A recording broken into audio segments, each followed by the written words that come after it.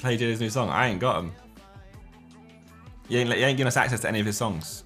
We've heard them, but in in person. He refuses to let us hear it on our own devices or allow any form of leaking or anything. He wants us to experience it with everyone else properly. Kind of rate it, to. It has, meant, has meant I'm more excited to but the album release because I'm actually looking forward to the songs coming out. Where, like previous albums, or like previous stuff, we've heard it all like months before, and I've like probably overplayed them, you know. By the time it gets out, comes out.